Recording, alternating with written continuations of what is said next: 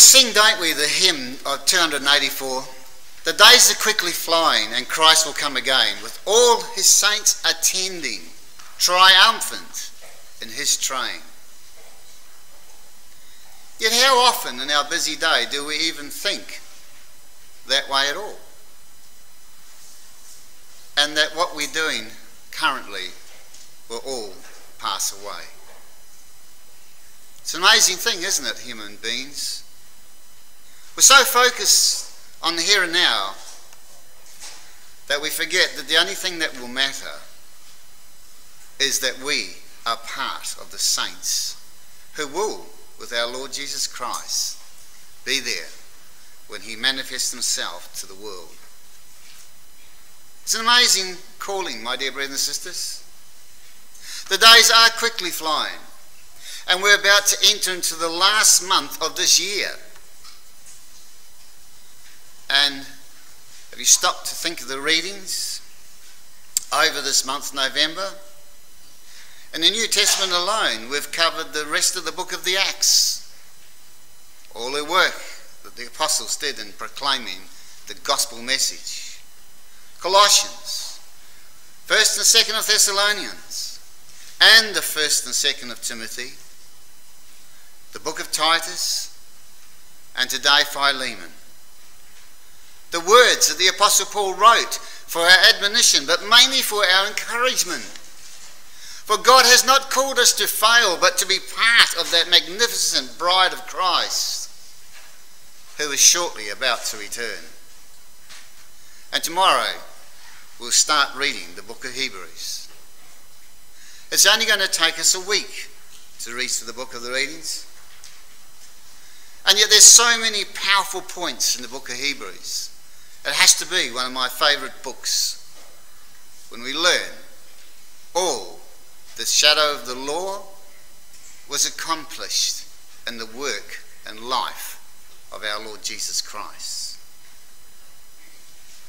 How much over this last month have we retained of the readings that we've done? All of Paul's exhorts, all the encouragements, what to do but to hold fast to the hope, to the faith that our loving God has placed before us. The love and the hope and the encouragement of one another. How much have we done that? Surely these have to be reflected in us personally in our daily walk. But how do we then fare in our daily work? Do we thank our Father many times in the day? Do we reflect on the wonder of our Lord's life, who been exactly like us and tempted in all points as we are, yet without sin? Unbelievable, isn't it, my dear brothers and sisters? We don't have to think. We sin automatically. Or how much do we speak and rejoice with each other on the great promises that we have been called to. How often, on the floor of the ecclesia, do we encourage each other about a point in the reading that we found exciting? Unfortunately, I fear not often. And yet we are the people of this book. We are the ones who have been set aside by God Himself and the Lord Jesus Christ has promised that those that they have given to me I have lost none, save the son of perdition. Yet, my dear brothers and sisters, he wants every single one of us. And if we read the readings in Hebrews, we will see so many failed. Why? Because of unbelief. Sad, isn't it? When I sat down to write this excerpt, I looked at myself and my own personal life. And I look at the pressures of daily living. And I wonder about the young ones, my own children, and how they're bringing up the grandchildren and the pressures that's on them. These all tend to push aside the Bible lessons, the things that we read from the Word, get slowly but surely during the day pushed to the back burner. As the day unfolds, things that are currently in our mind are the things that we have to do. It's called living, daily living. And the many things that have crept into our lives that push the Bible to the back burner are things that we're starting to take for granted. Our brother Mike mentioned the news. It's the worst thing we can listen to. Because every day it's doom and gloom. And yet we know, my dear brothers and sisters, that unless the three unclean spirits are not doing their work, there won't be a return of the Lord Jesus Christ. Because those three unclean spirits are bringing this world to the great day of God's judgment. And we won't be here, will we? We will be with the Lord Jesus Christ. We will be part of that magnificent bride of Christ. When the Lord is manifested, so will we be. And yet, how often do we think of that? All the signs that are taking place in the world are evident that our Lord Jesus Christ will very soon be here. When we're taken to meet our Lord and we're assembled at the judgment seat, what will we be thinking about? Will we be worried that we're not been able to text our friend? Will we be worried that we left our cat or our dog behind? What will we be worried about? Will we be worried whether we're going to be found acceptable? Will we be worried that we don't know enough of the Bible? These things are very real. You speak to older brethren and sisters of what they worry about as they're approaching death. It's an incredible thing that most of them worry whether they're going to be ever good enough to be in the kingdom of God. Well, let me give you an answer. No, we are not good enough. But as our chairman and many other brethren tell us, we are by grace going to be given eternal life. What is the covenant for? Is Christ not faithful to it? Will he not be faithful to the covenant that we have made? Yes, my dear brothers and sisters. It's up to us, though, to believe it and act like we believe it. On Wednesday night, our brother Luke did a great class. And what did he stress? That the faithful walked with God. How much have we thought about walking with God since Wednesday night? I would like then, by way of exhortation this morning, for us to look at the book of Hebrews. That we should be reading, as I've said, over the next week. And Paul covers briefly the history of the Jewish nation in the early stages of it and the chapters of the deliverance of Egypt. Moses, who was taking them to the promised land under Joshua, going into the land. Paul then shows us that these two men were but a mere shadow of the Lord Jesus Christ, who is our leader daily, and that, like them, the people that they led, it's so easy for us to forget that we're about to enter into a promised land. And our rest, mostly our rest, when our Lord returns in all his righteousness. In Hebrews 3, we read, Wherefore, holy brethren, partakers of the heavenly calling, consider the apostle and high priest of our profession, Christ Jesus, who was faithful to him that appointed him, as also was Moses was faithful to all his house. For this man was counted worthy of more glory than the Moses, insomuch as he who hath built the house hath more honour than the house. For every man is built by every house, sorry, is built by some man, but he that built all things is God. Moses verily was faithful in all his house as a servant for a testimony of those things which were to be spoken after. But Christ, for as a son over his own house, and note the next words, whose house are we? Why? If we hold fast the confidence and rejoicing of the hope firm unto the end. Our commitment at baptism wasn't for five minutes. Our dedication as a bond servant indicated that we were going to serve him until the end. And so, if we hold fast that confidence and rejoice with him in the end, the Lord Jesus Christ will be happy to count us as one of the saints. And how often do we think of that? We are all, are we not, in the household of Christ? God has always been the centre as the Father to all generations, including ours. Being, us being in his house, we must also then hold fast. We need to read and understand why Israel failed in the wilderness. For they failed to enter into their rest. The true rest of God is yet to come. And why did they fail? They erred in their hearts and forgot the plan and purpose of God. The plan and purpose of God is very basic, my dear brothers and sisters, and we all know it off by heart. This earth will be filled with His glory. Nothing to do with us. That's God's work. Our work is to preach the truth and keep ourselves unspotted from the world. Very simple. But we have to believe that that's all it is.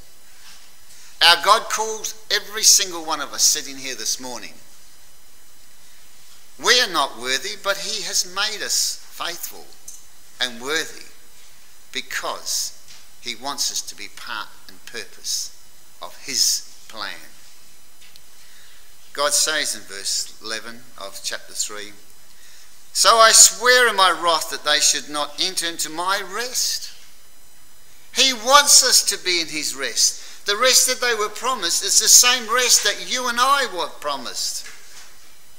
It's the same rest that the Apostle Paul quoted and preached. So Paul goes on to exhort us in verse 12 to take heed, brethren, lest there be any of you an evil heart of unbelief in departing from the living God. But exhort one another daily, whilst it is called today, lest any of you be hardened through the deceitfulness of sin. Deceitfulness of sin is something that's natural to our natures. So, what does he say? For we are made partakers of Christ if we hold the beginning of our confidence steadfast unto the end. And there it is again, unto the end. It's not a short walk, my dear brothers and sisters, it's to the end. For some, when they heard, did provoke, howbeit not all that came out of Egypt by Moses. But the Lord was grieved them for 40 years. Do you know, did we notice twice the word today? Verse 13, verse 15. Do we have then in our busy lives time to consider the plan and purpose of our God? For this is our calling to be separate from the world, to be separate from the things that are about us. These are the things that we have to put into our minds and this is the purpose of what a saint should be doing in our time of probation. Many in Israel failed. I have no doubt whatsoever that if we were walking in the desert for 40 years, we murmur. I tell you why I have no doubt, because I know that we all murmur.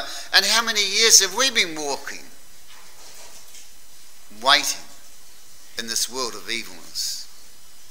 And don't we find ourselves murmuring? We murmur about all the blessings that our God has given us. We mutter about each other. We matter because we want the things of the world.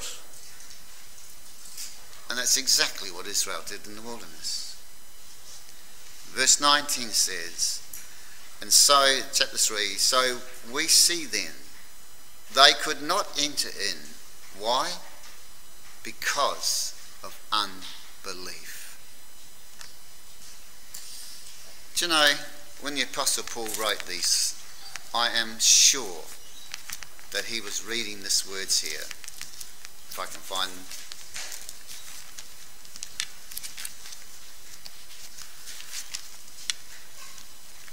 Somebody's pinched out my Bible. One second. These words, take heed. Come, let us sing unto Yahweh, make a joyful noise to the rock of our salvation. Let us come before him with thanksgiving make a joyful noise unto him with psalms. For Yahweh is great God and a great King above all gods. In his hands are the deep places of the earth, and the strength of the hills is also in him. The sea of it is his. He made it with his hands, and he formed the dry land.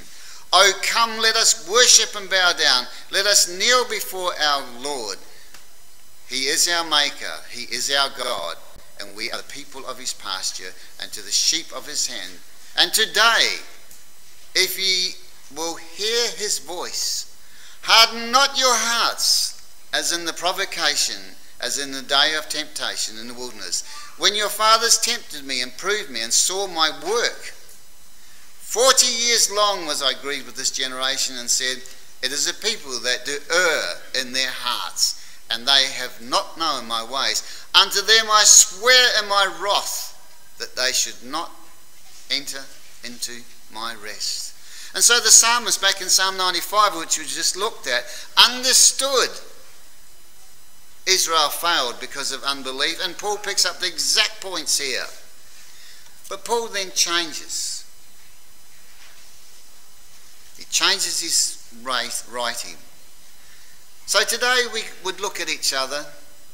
There's not one of us that could condemn or wouldn't dare condemn one another by saying, Well, you won't be in the kingdom, will you, because of your attitude.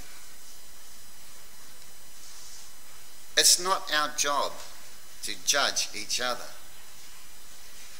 but to exhort each other to love and to good works, to love the Bible, and to love the hope that we have been separated and called to.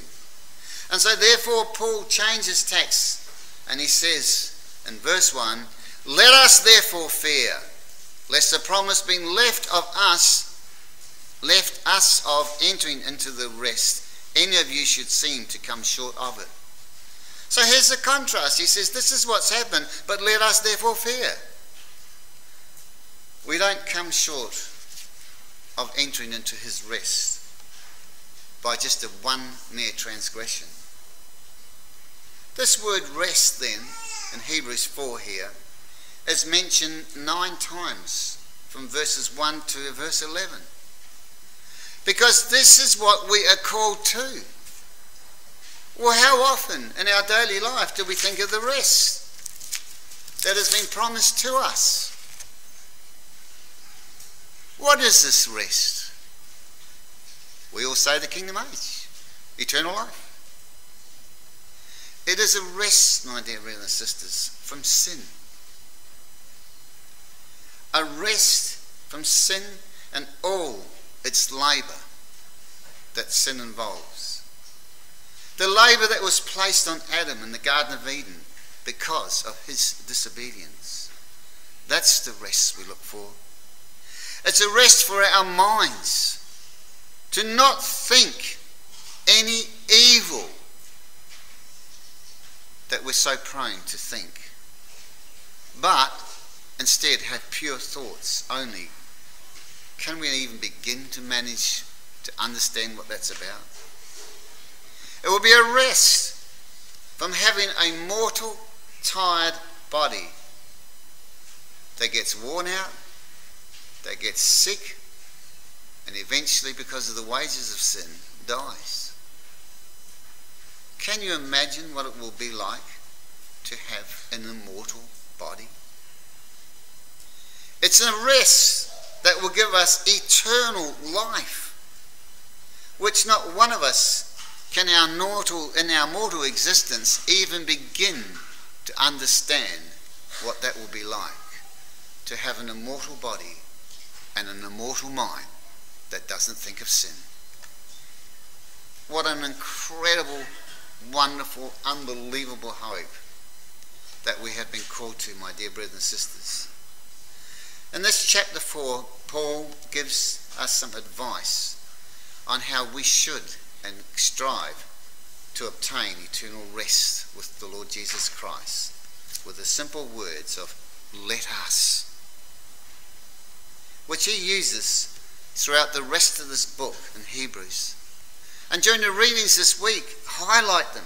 There are 12 let us in the book of Hebrews as an education and as an encouragement and as a little prompt. And so he reuses it here in this book, and we'll only look at the first four of these let us that he uses in chapter 4. And so the first verse, let us, let us fear. We can all understand the Proverbs when it says the fear of Yahweh. The fear of Yahweh is the beginning of knowledge and understanding. It's not a fear that we tremble. And yet, every time you see when an angel appears to somebody, they drop to their knees.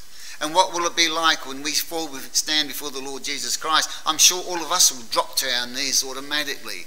The glory that's manifested in the Lord Jesus Christ and his angels and God himself must be unbelievable. So the fear is not a terror ter- being terrified of not being there, but being beginning of the fear of how glorious they are. Second time is in verse 11. Let us labour. The third time is in verse 14. Let us hold fast. And the fourth time Paul uses it is in verse 16. Let us therefore. And so let's take the practicality of them. If we have fear or knowledge of our God's plan and purpose, we then can enter into the kingdom age of rest. The second time Paul uses it in verse 11, he tells us to labour. To labour to enter into the rest. So that, why? We don't fall into unbelief. And we read that from verse 11. Take heed. Sorry, we've read that. Rest you fall. Oh, I'm reading the wrong one. Beg your pardon. Hebrews 4 and verse 11. Let us labour, therefore, to enter into that rest, lest any man should fall in the same example of unbelief. For the word of God is quick, powerful, and sharper than any two edged sword, piercing even to the dividing asunder of soul and spirit, and the joints and marrow, and is a discerner of the thoughts and intents of the heart. Neither is there any creature that is not manifested in his sight, but all things are naked and open unto the eyes of him with whom we have to do. Who's looking at us? Who's examining us? Who's exciting, uh, uh, sorry, guiding our footsteps? Isn't it the angel that's with us? Isn't it the word of God? And what does that word of God do? It cuts to the very marrow of us, discerns us, so that we may not be found naked. But you see, verse 13 says, All things are naked and open to the eyes of him with whom we have to do. As soon as we read that word, doesn't our mind leap to Revelation 16? Verse 15 as a warning when we see all the things taking place that the three unclean spirits are bringing on the face of this earth, that we may be not found naked. With clothes, my dear brothers and sisters, in a spiritual garment. given to us on the day of our baptism. We have to keep that garment clean. So then, knowledge brings responsibility to labour in the Word is to change our way of thinking from carnal thoughts to spiritual thoughts, which takes us to the next let us. For we read here in verse 14 Seeing then that we have a great high priest that has passed into the heavens, Jesus, the Son of God, let us hold fast our profession. Hold fast to our profession. What does he mean? Well, it simply means to hold fast to our confession. Our confession that we had at the day of our baptism that was given to us when we went through the waters of baptism to be baptized into Christ. And that robe that was given to us, that we still wear, will be looked at when we stand before Him. We believe at baptism that we are going to walk a life that is sinless before the Lord Jesus Christ. We believe that the Lord Jesus Christ is able to cleanse us from our iniquities. Well, verse 15 says, We have not a high priest which cannot be touched with the feelings of our infirmities, but was in all points tempted like we are, yet without sin. And how did the Lord Jesus Christ overcome sin? He often said, It is thus written. Or have ye not read? So, what does that tell us, my dear brothers and sisters? That if we don't read and consider the Bible daily, our minds are going to be filled with rubbish. For whatsoever we pour in there, that's what's going to come out. Let us never deceive ourselves. That is so true. Our Lord does know our shortcomings. Our Lord hasn't called us to not to be in the kingdom of God, but surely when he looks at our minds and our hearts, he wants to see something manifested in there that reflects this Father. Which is what it's all about, isn't it, in our time of probation. And so he says then, the Lord knows. Therefore, after we read verse 15, verse 16 says, our understanding of God's grace is to us, and therefore let us, therefore, let us therefore come boldly into the throne of grace, that we might obtain mercy, find grace to help in time of need. And isn't it that's what we need? Our time of need is always now, my brothers and sisters. It's not only in a crisis, but daily, it's now. This, in our lifetime, this time is in our probation time as we wait for the Lord Jesus Christ to come. Let us work out our salvation with fear. That's knowledge of God and His plan and purpose of offending, also a fear of offending the Lord Jesus Christ, who gave His life for us. The other warnings that Paul comes from these two chapters, the 3 and 4 in Hebrews, is the word today, which we've looked at. And so we read in verse in, in 3, verse 7, today, if you hear not. So these things stand out. Verse 7 and verse 13, we've already read. Verse 15, again, today, today, today. And that was the whole problem in the children in the wilderness. They forgot today to serve their God and murmured. And chapter 7, uh, sorry, chapter 4, verse 7, again we read. Again he limited a day, saying to David, Today, after so long a time, as it is said, Today, if ye will hear his voice, harden not your hearts. What's going to mellow your heart? What's going to make you mold, be moldable, and be presentable to our God? The Word itself and only the Word. Twice it says in verse 4, that verse 7, today. We are living in today. Surely Paul's words for us are clear. Today. While we still have time to do so, Consider our ways and how we do spend our times and what we spend our times in doing. Today, while we wait for the Lord, we must hold fast, encourage each other, and be taught of the gospel message, the message of salvation. Therefore, my dear brothers and sisters, if you take nothing away from this exhort, take these words Let us fear our God and love. Let us labour to enter into that rest. And let us hold fast to our confession, believing that we will be in the kingdom. And so it is as we now turn our thoughts to the emblems set before us. I'm sure you, like me, feel completely unworthy of even being called. And yet we have been called because God's seen something in us that He wants to use in the kingdom. But looking at the emblems, by being here, we are renewing our covenant with the Lord Jesus Christ. For he said, Do this in remembrance of me. We are washed again by the blood of Christ, symboled in the wine. We are called to be part of the body of Christ, symboled through the emblem of the bread. We all have been given by God an amazing hope and an amazing, incredible way in which we can walk. Let us then, as an ecclesia, we say we manifest love. But what sort of love do we manifest to each other?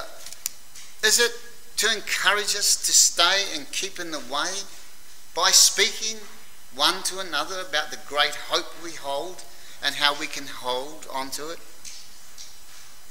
Paul in 1 Corinthians 11, which we read nearly every week, tells us to let a man examine himself let a man examine himself. And we just read there that the word of God will pierce and cut asunder in chapter 4, verse 12.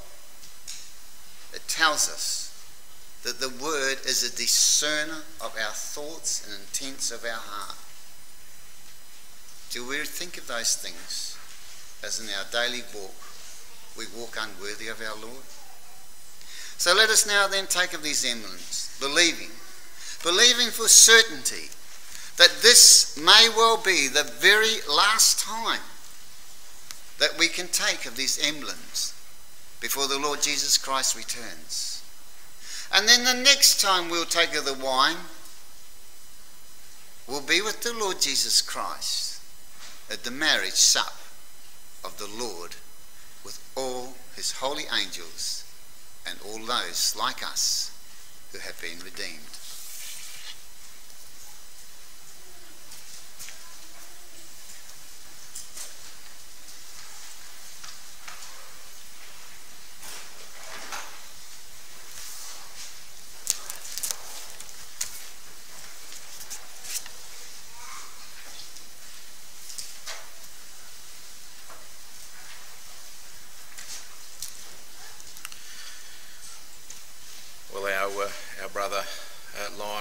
Has uh, indeed exhorted us to look forward to the uh, promised eternal rest that is set before us. And we know, brothers and sisters, that this promise has only been made possible by the sacrifice of the greatest man ever to have walked this planet, even the Lord Jesus Christ. And so it's also the Apostle Paul that talks about these emblems set before us and we read from that section in 1 Corinthians 11 as a uh, precursor to taking these emblems. For the Apostle Paul says this in the verse, first verse Be ye followers of me, even as I also am of Christ. He goes on to say, For I have received of the Lord that which also I delivered unto you, that the Lord Jesus, the same night in which he was betrayed, took bread. And when he had broken, when he had given thanks, he brake it and said, Take, eat, this is my body, which is broken for you. This do in remembrance of me. After the same manner also he took the cup when he had supped, saying, This cup is the new covenant in my blood. This do ye as oft as ye drink it in remembrance of me. For as oft as ye eat this bread and drink this cup, ye do show the Lord's death till he come. Wherefore, whosoever eats this bread and drinks this cup of the Lord unworthily shall be guilty of the body and blood of the Lord. But let a man examine himself, and so let him eat of that bread and drink of that cup. We'll give thanks for the bread. Our gracious, all wise Heavenly Father, we come into thy presence, focusing our attention at this time upon the memorials on this table and, in particular, this bread. We are truly thankful, dear Father, for providing thy Son as a sacrifice for our sins. And Father, we know that thy Son was able to call upon thee for strength when it was required and it helped him live that wonderful and perfect life of obedience.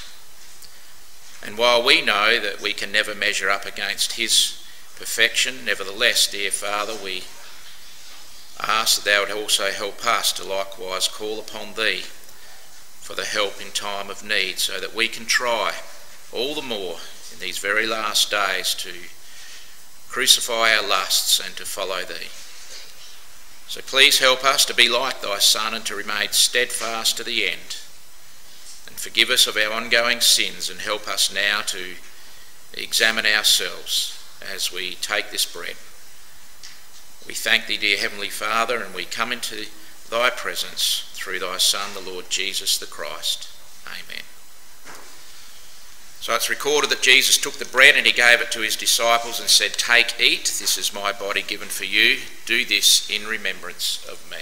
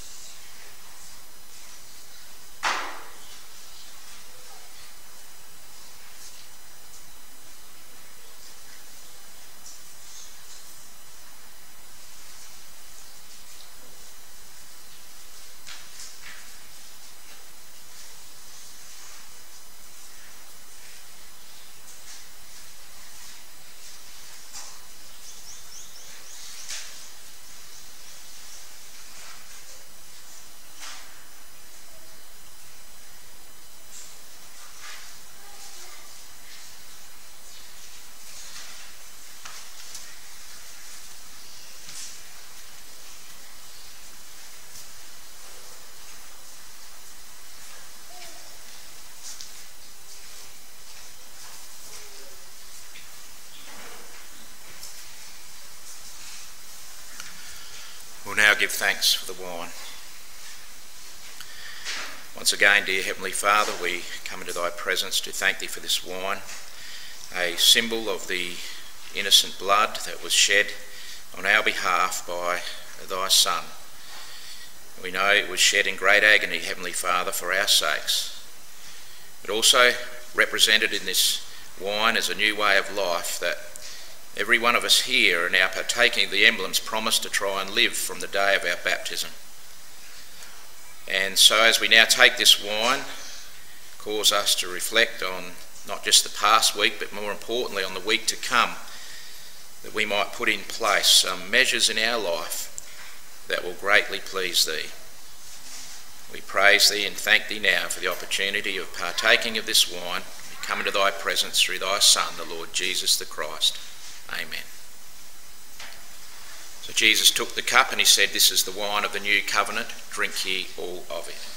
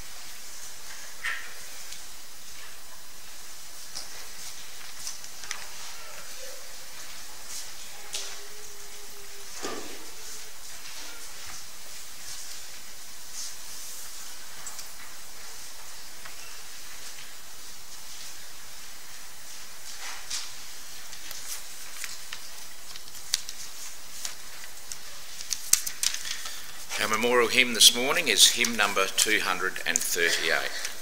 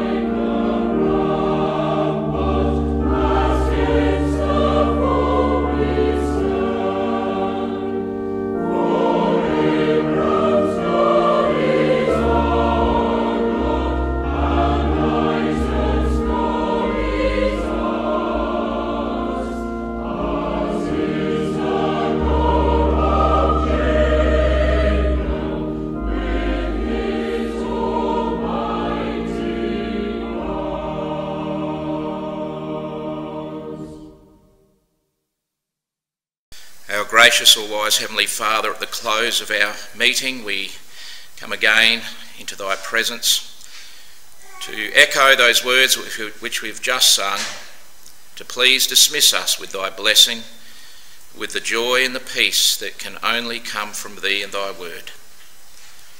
We have indeed been encouraged this morning, dear Father, to hold fast to the promise of the rest that has indeed been promised to us from thy word. Help our unbelief, dear Heavenly Father.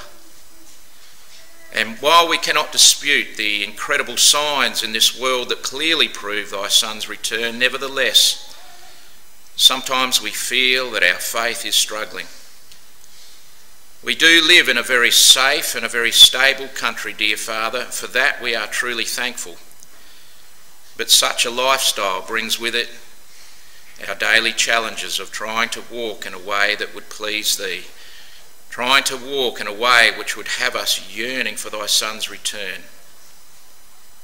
One wonders, dear Father, if we were living in Africa, if we were living in India, or Iran, or Turkey, or many other places where our brothers and sisters are on bended knee pleading for Thy Son's return every day.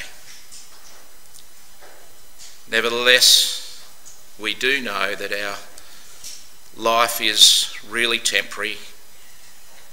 Our true life to come is the true rest that has been promised to us.